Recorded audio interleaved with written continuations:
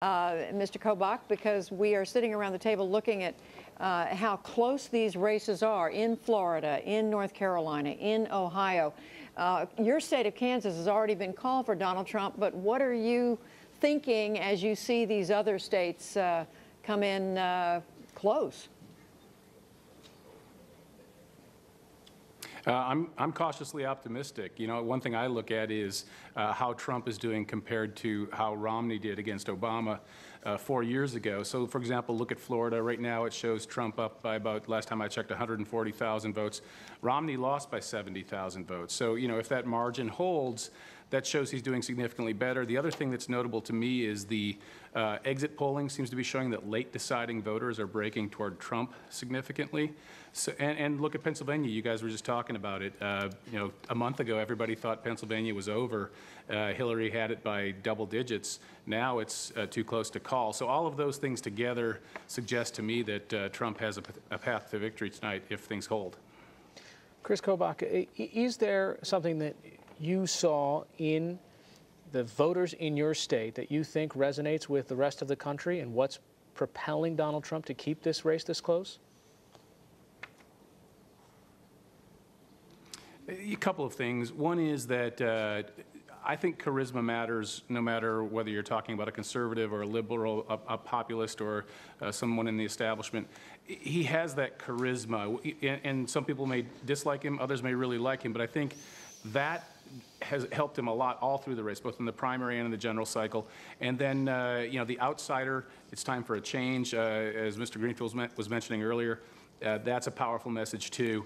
Um, and then there's one other thing, and that is in the deeply conservative parts of the country, uh, you have a lot of voters who are, and, and, conservative parts of places like Pennsylvania, voters who really think there's, that the Constitution is on the brink and that the country is sliding uh, toward a, a, state it can never recover from. Those voters, I think, are turning out in higher numbers than were expected, and they would have turned out probably for any Republican candidate. But Trump is benefiting from those voters as well. So you put all those together, and I think a lot of the polls are showing that they were off the mark.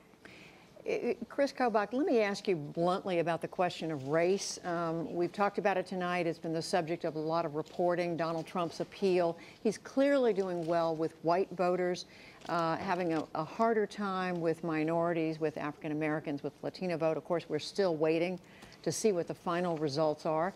How do you think about that um, as, as an issue for your party, uh, what it says about whether Donald Trump wins or loses this year?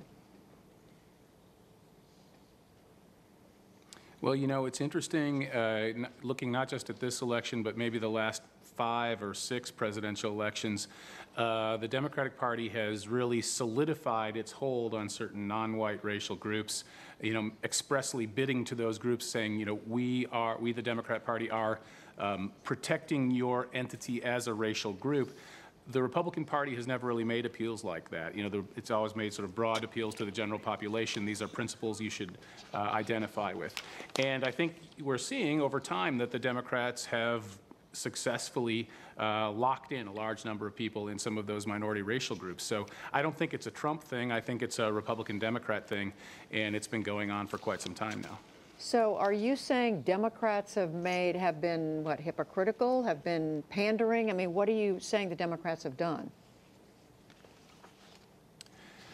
Well, no, not, not hypocritical, but that it's, it's more of a pandering. It's more of a, you know, you should vote for us because of your racial group and because we, the Democrat Party, will do a better job of protecting your interests defined not as an American, but your interests defined as a member of this racial group.